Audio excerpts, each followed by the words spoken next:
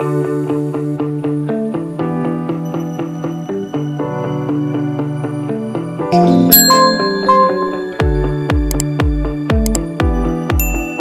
and welcome to Animal Chiropractic Clinic Chatter, a podcast where Dr. O from All Creatures Every Spine interviews doctors and animal owners that utilize animal chiropractic to get their unique perspectives. Yes, it's really a thing.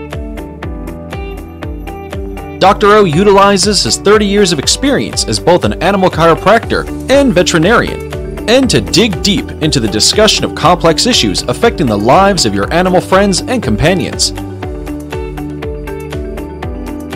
Join us for this educational episode. Thanks for joining us for this portion of the episode as Dr. O begins to answer the question What is animal chiropractic? He will look at how the chiropractic adjustment is a valuable and viable treatment for what ails your animals.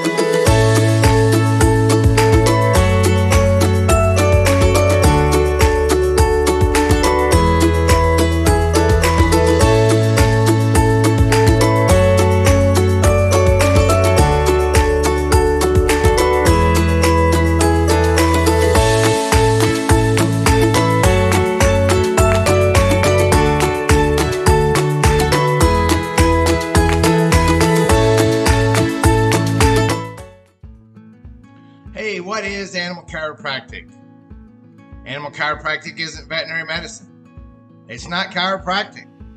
It's not body work. It is similar to veterinary medicine. It is similar to body work. It is similar to chiropractic. But it's not any of those. It is a separate entity. Animal chiropractic isn't about moving bones. Animal chiropractic isn't about curing lameness. Animal chiropractic does those things.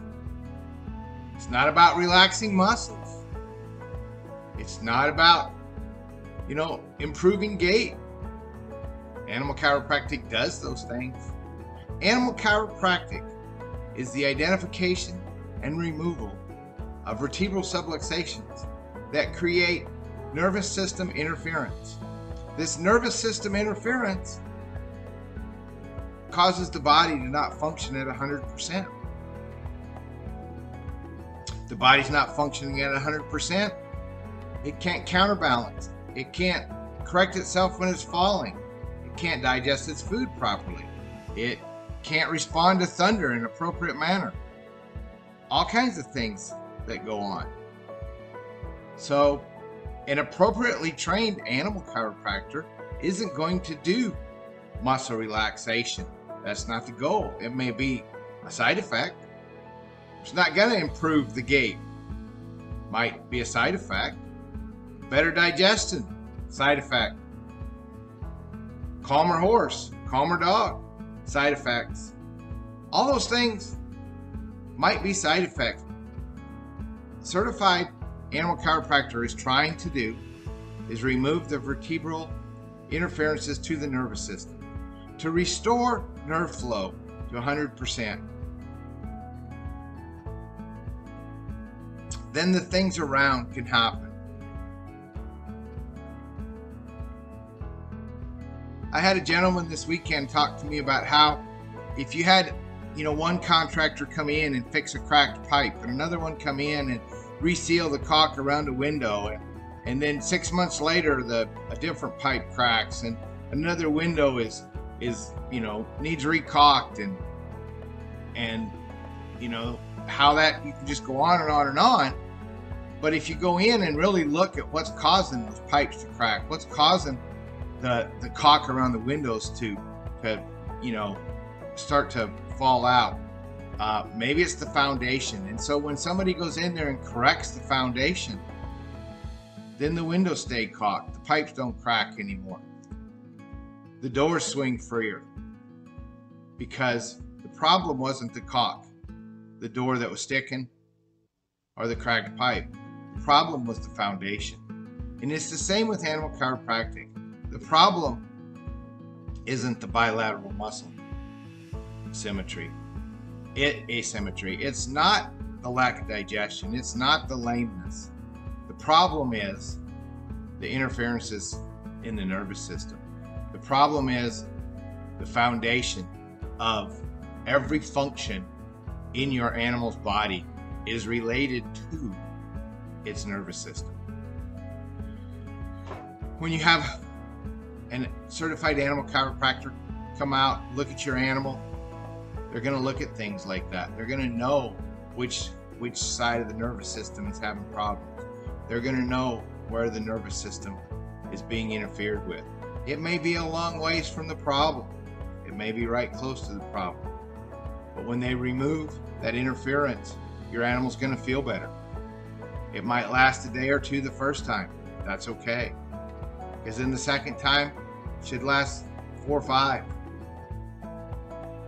And eventually get up to where depending on what you're doing with your animal, it's lasting an appropriate amount of time. The animal's able to hold his adjustment. Yep, our goal is to get your animal addicted to chiropractic care, to get your animal addicted to feeling the best he can be, the best she can be, to get your animal addicted to feeling great, to being the best companion it can be for you whether that be a lap dog or a champion dog, whether that be a pasture ornament or a 1D barrel race. So, remember the body heals only one way above, down, inside out. Keep your animals adjusted. Have a great day. Make sure to visit our website, allcreatureseveryspine.com, where you can subscribe to the show and learn more about getting your animals adjusted.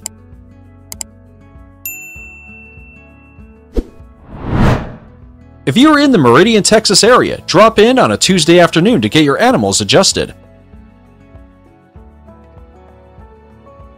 If that isn't possible, schedule a consultation on your animal's health with Dr. O. You can also purchase a copy of Dr. O's book. Yes, it's really a thing.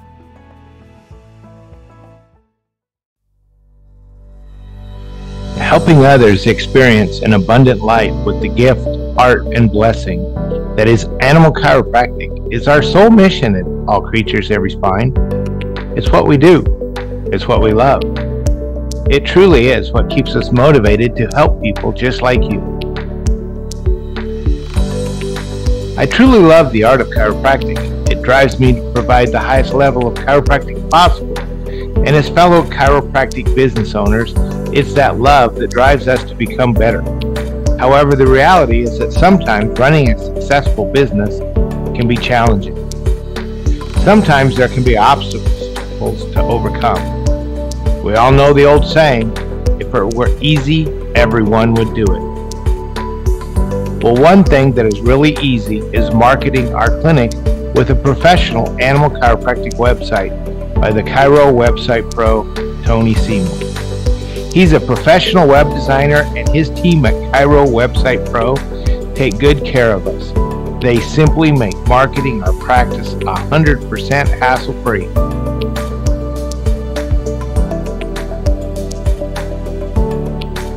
If you're looking for the number one hands free way to market your practice, give the Chiro Website Pro a call at 423 779 4630 or simply visit www.chirowebsitepro.com and make sure you ask them about the special ACES discount and let them know Dr. Amy and Dr. O sent you. You'll be glad.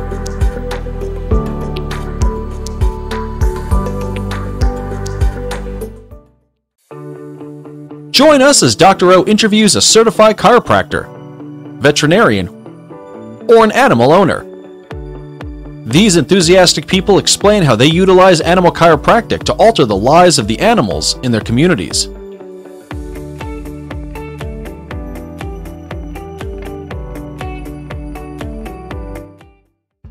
Hey, everybody, this is Dr. O. Welcome to another segment of Who is Animal Chiropractic in Animal Cl- Chiropractic Clinic Chatter. So glad you tuned in today. And today we're with the vibrant Dr. Massey. Would you ex- introduce yourself, please? Hi, I'm Dr. Amanda Massey, and I am the owner of Elite Motion and Performance I'm a human and animal chiropractor based out of Austin, Texas, but mobile throughout Texas.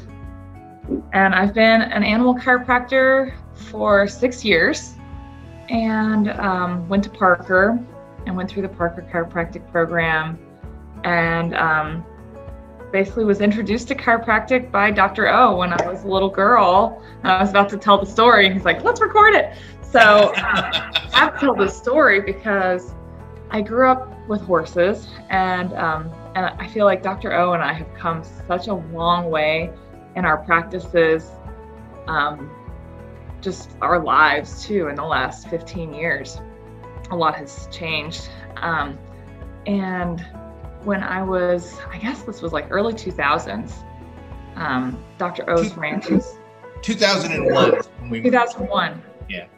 Yeah. So my family plays polo, and we moved from Indonesia to Dallas. And the first thing we bought were polo ponies. And we had our little mobile home and our polo ponies, and our, you know, our horses were our, that was our life. And um, one of our horses got hurt, um, injured her hip. And our veterinarian at the time recommended animal chiropractic. And we, I'd never been adjusted. I'd never even heard about chiropractic for people or animals at that time. And we were like, what is this? And um, we had Dr. O out and he adjusted her several times and recommended some exercises to do with her. And within three months, she was better. And it was one of those things where this horse could have, in any other setting, like it saved the horse's life. Like some settings, these horses end up getting auctioned off or mistreated or and this horse was able to come back and and be an athlete again and we were able to basically save this horse and so it was my first little taste of the miracle of chiropractic and how the nervous system can reconnect and heal the tissues of even after a soft tissue injury that was pretty traumatic um, so, if you want to pass on this question, you can. Okay. What had you intended to do before becoming, a, if you weren't going to be a chiropractor?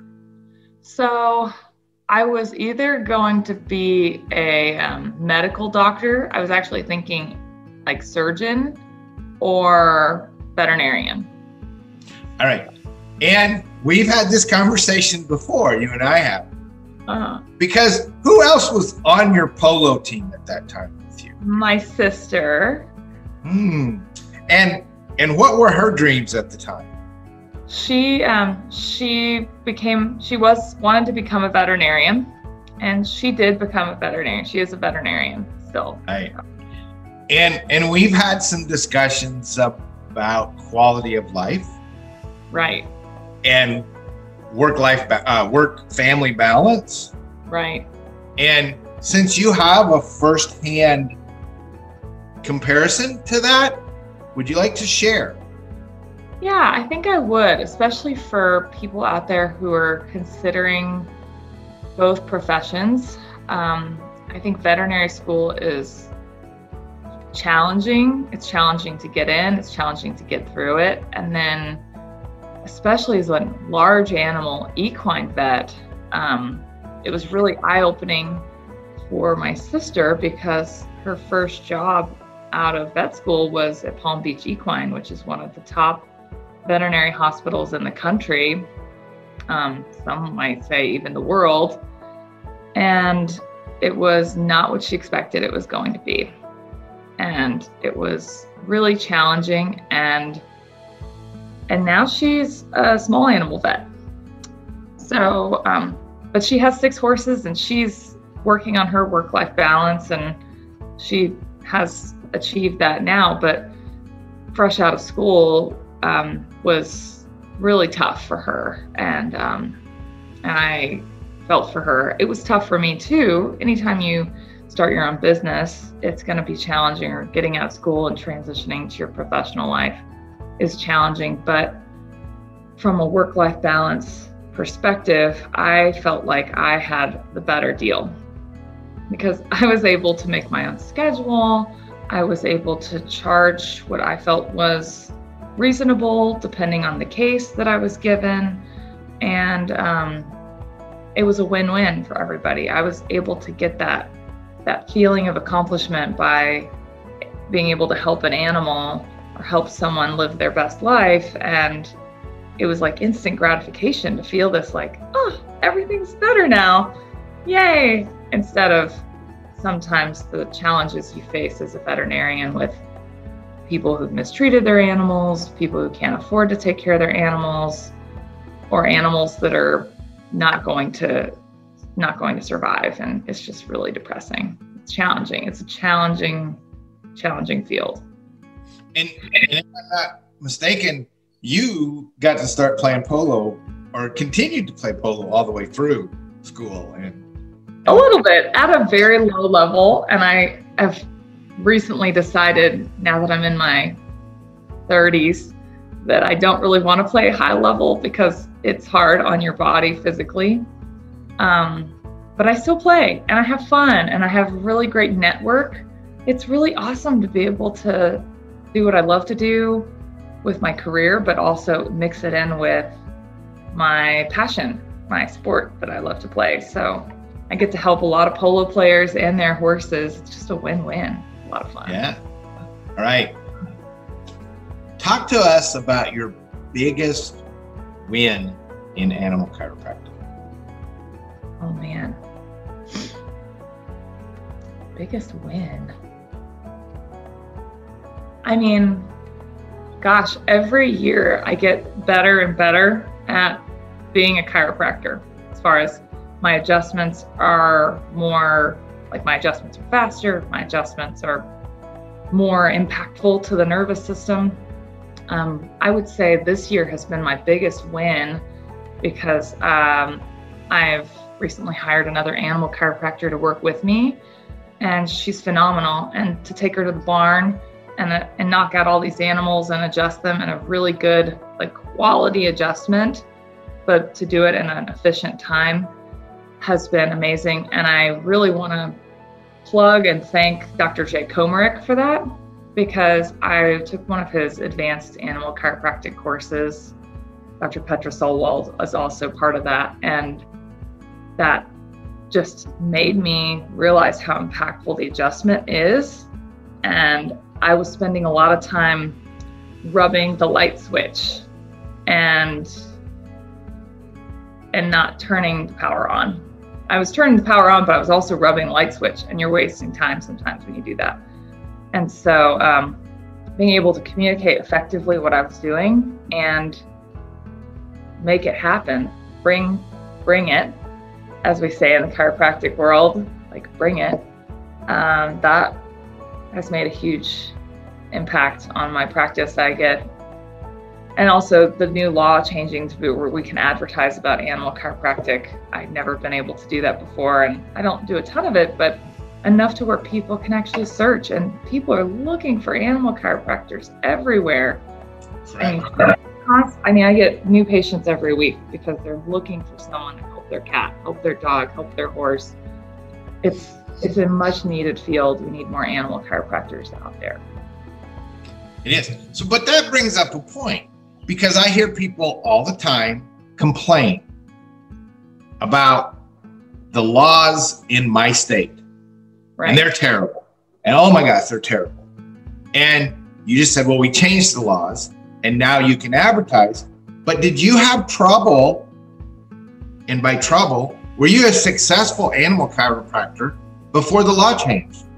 Yes, I would say I was.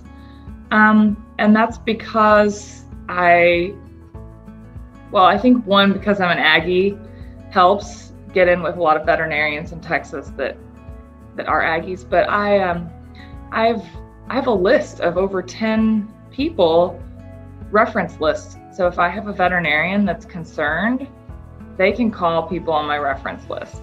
Um, and I really haven't had any trouble with veterinarians signing on my signing off my referral form um, because I have a good reputation and and I'm a good communicator. I'm willing to sit down and chat with what's going on and and I have had a few animals that I didn't adjust and that is and I referred them to a veterinarian that's also a chiropractor because there were other issues going on with that pet that were outside of my scope. And so that's I think having those just clear boundaries makes sure you have a good reputation. They know that I'm not there just to make money. I'm there to help the animal.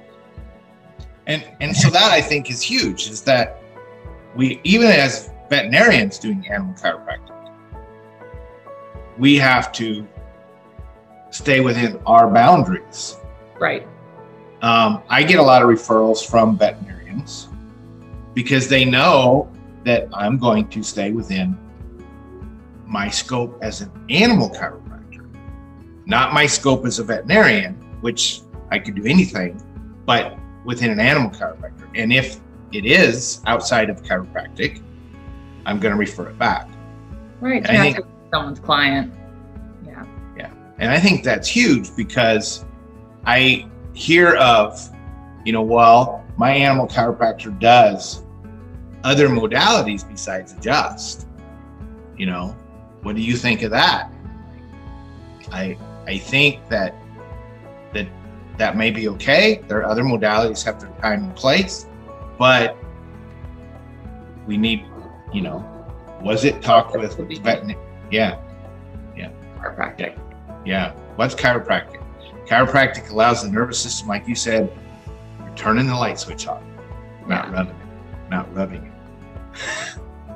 so, what is your average adjustment time per horse? Well, it it's kind of depends on. Sometimes I'm a big talker. Even you know this. So typically for small animals, it's about five minutes or less the actual adjustment time. But I spend a lot of time explaining what I do and talking to the owners. Um, I need to work on that, but um, I like talking to people. Anyways, my horse adjustment time is about 20 minutes. Yeah. Um, and that's full spine, including all extremities and the TMJ. So, yeah, good. Um, so, one thing that we've done in our dogs is we go to walk ins, uh, open adjusting during certain times, and you can ask all the questions you want, uh, but I'm going to be adjusting the next dog. oh, that's great. So then everyone else hears the answers and I can answer their questions too. Everybody hears the answers. Um, if you're new, we try to make sure the new patients come in uh, on those days, scatter them out. So if they have like, what's it going to look like? Is it going to, you know, we can bring in um, the repeats. They can watch some uh, rechecks, you know, um, and then you know when it's their turn, they're ready. Yeah. For their dog to get adjusted. The only thing we do on those days is animal chiropractic. Um, it's if if you know, like I said, we are veterinarians, so we do talk nutrition, we do talk some other stuff, um, but not on those days. on on Tuesdays from one to six, we are strictly animal chiropractic. It's strictly walk in, and you may have to wait. Right. Do you um, also offer some sort of like consultation or email yes. type of thing, so that way you can you can because what I've found, and this might be just added service that I throw in with my services. I like to email follow like email follow up and give them suggestions all in an email it saves me so much time from having to do it all right then and there. I can just say, hey, I'm going to send you a follow up later with everything you need. And I just boop. We, we use um, Cavanti. Okay. And Cavanti, um, and then we have developed, you know, I, I I laugh. Dr. Amy says it's not a good thing to tell people you're um, ADD, but if I have to tell three people the same thing in a day, um, I make a brochure or a poster out of it. And then we have those available for other animal chiropractors on our website. And most of them are available in a handout and a PDF form as well.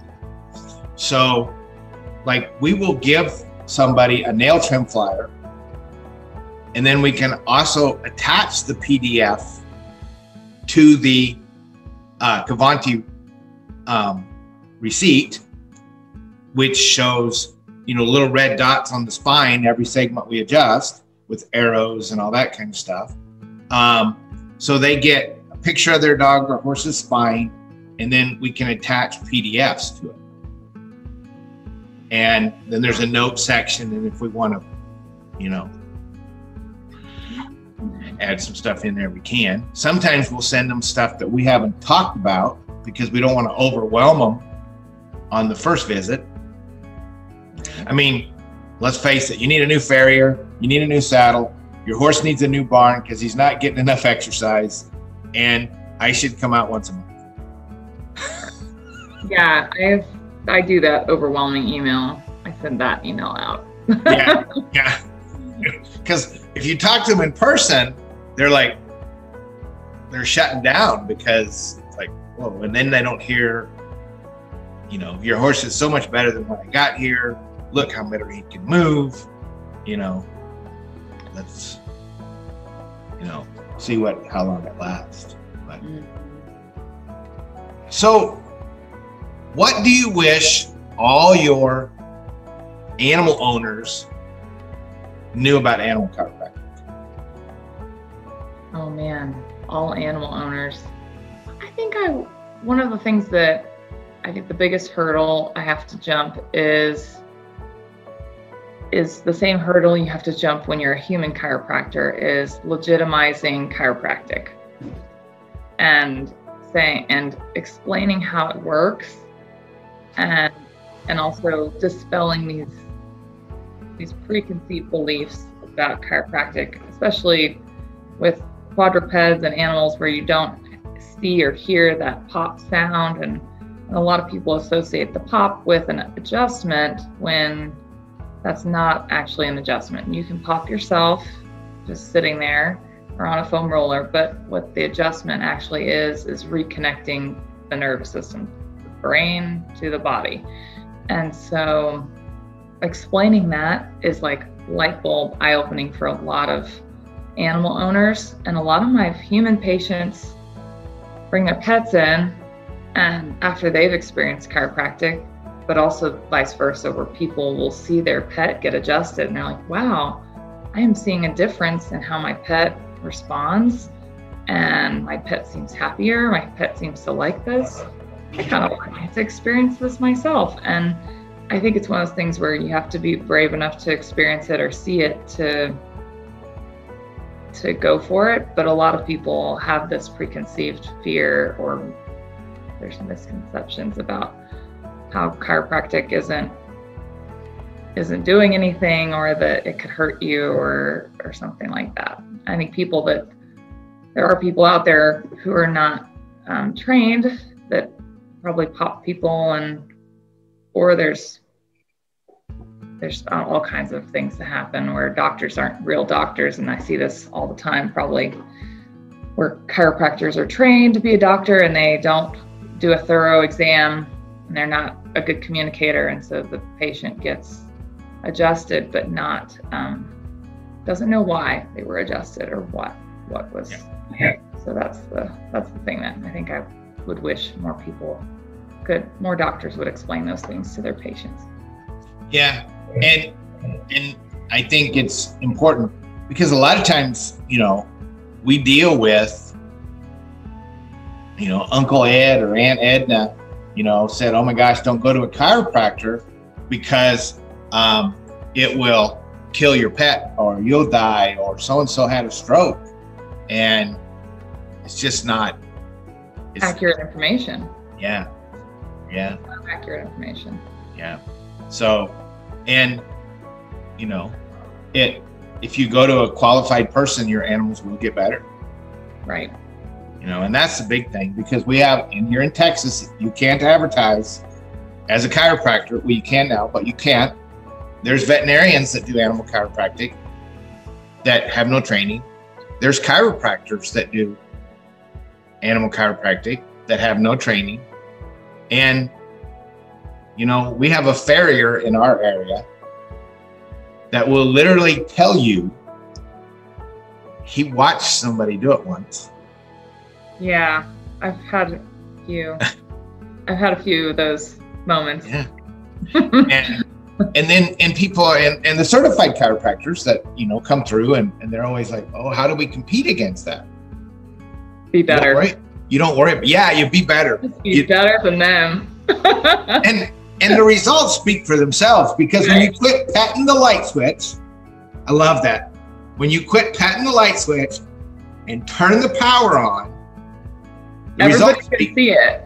Yeah, the power speaks for themselves. You know. All right. Any Thanks last for having me. I, this was really fun, Dr. O. I appreciate you having me um, to talk to me.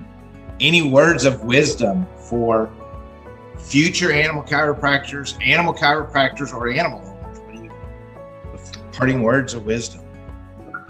Well, I would say get ready to work hard, and it's one of the most rewarding professions. I mean, I am, I just love what I do, and I would do it every day, and I plan to for the rest of my life. Um, but get ready to work hard. It takes a lot to. I also think writing out your beliefs, your belief about chiropractic, writing out those things will help you communicate better to your patients and your patients' owners.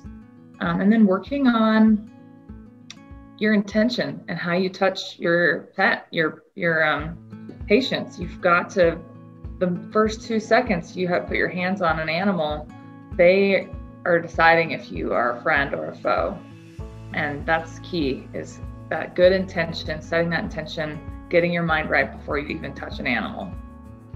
Those, those would be my parting words of advice. All right. Well, thank you so much for your time today. And everybody out there, until next time, above, down, inside out, keep the nervous system connected. If you are or know a veterinarian or chiropractor, or a student of either of these professions, visit our website, Animal Chiropractic Education Source, to see how to become certified in animal chiropractic. Start improving the lives of the animals around you. Thanks for tuning in. Be sure to subscribe to the ACES channels so that you never miss an exciting episode.